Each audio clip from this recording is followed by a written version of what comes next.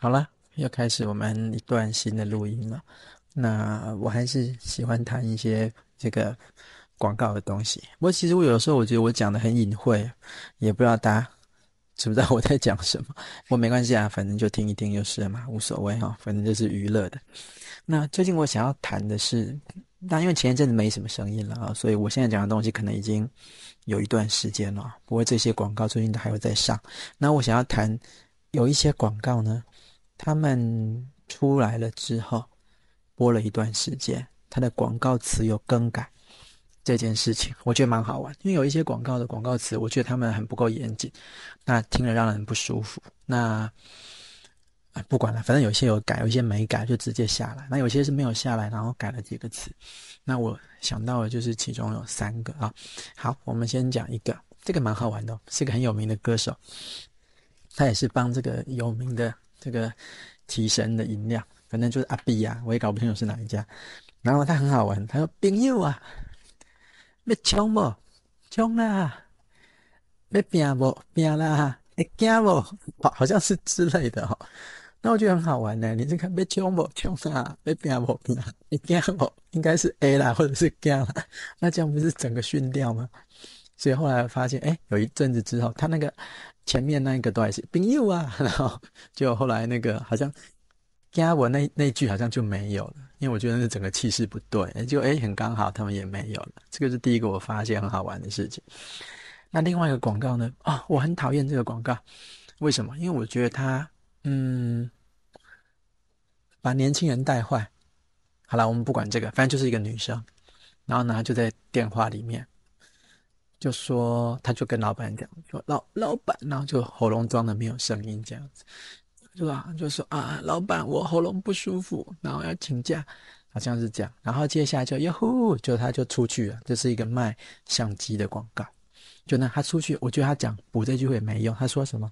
我承认我有时候有点小任性。当感觉来的时候，你承认你有小任性有什么用？你这样乱骗人嘛？欺负别人对你的伤害，别人对你的信任，我觉得这个很糟糕。好啦，反正他就这样讲，然后就出去啦。然后最后啊，他大概怕被人家把这个相机定位成是女生专用，所以画面的最后。他当然中间出去玩呐，然后拍照那一段，我觉得拍的还不错。可是他最后可能怕被定位成这是个女生用的相机，所以他最后遇到一个帅哥，然后跟他一样是用同样的相机，然后他还对那个人做了一个鬼脸。那我说我很讨厌，是因为我刚讲前面讲的那个，他就假装就假装什么喉咙不舒服，只是想要跑出去。就天哪，这个广告竟然变成了车厢广告，就是那个女生。然后呢，有一个在车子，哎，应该不能讲，这叫车厢广告？它是在车子外面的广告啊。然后我我的感觉是啦，我猜这个实验的脚本，呃，不是实验，sorry，就是这个广告的脚本，应该绝对不是这个女主角广告女主角写的。可是我就会觉得，我对这个演的人，特别是他的这个广告在公车上就有，我觉得对他的印象很差，就觉得他是一个会乱讲话的人。啊，他就是一个，嗯，会说谎骗人的人啊。好吧，那不管了。我突然想到，好像前一阵子广播上有讲说那个什么，呃，年轻人请假呢，就嗯，有的时候只打电话，然后呢，甚至有些只传简讯，就跟他的主管讲，然后他生病他就不来，然后或者是就编个理由，然后呢。主管大部分都是不相信的，或者是觉得这样子不够正式，对于职业不够尊重啊。好了，我们先不管这个哦，别忘了我们的主题是这个广告内容是有更改的。就后来呢，我我如果没有记错的话，这个广告就改成那个女生打电话给主管，就直接说啊，我我感冒，就直接讲感冒，对啊。不过后面就都一样啊，就改这句话而已啊。我觉得其实没什么用。我对这个广告，对这个女生。当然，我刚已经说了，这广告词应该不是他编的，可是我就对他就印象不好，唉，可惜了这个照相机的牌子，哎，我第一台单眼相机，啊，我是古时候的人啊，那时候根本还没有数位相机，我第一台单眼相机就是这个牌子的耶，哦，真是的，就他什么搞这个广告，而且他，哎呀，反正我觉得他改几句话继续播，对我来说是没用的，我觉得。我不喜欢，不喜欢。好，那我们再讲另外一个，这个太严肃了。我们讲另外一个，另外一个广告很好玩哦，好像是国产车，一个很有名的品牌吧。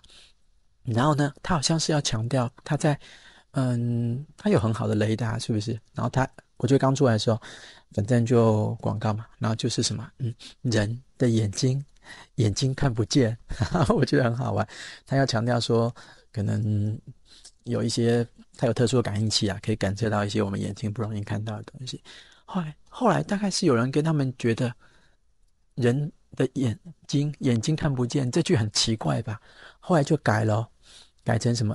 因为人的眼睛有无法啊，因为人的眼睛有无法穿透的黑暗啊，我觉得不用诶，我觉得人的眼睛眼睛看不见很好玩呢，对不对啊？然后把揪把揪上来不快，我觉得很有意思。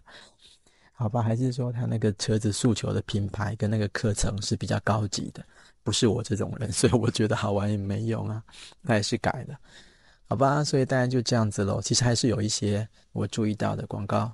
广告词、广播的、电视的有修改，不过，嗯，现在想到就这三个，我们就谈到这边吧。下次有机会再见喽，不是再见，就是，哎呀，好了，随便啦，反正听也是一种见嘛，是不是？好，拜拜，拜拜。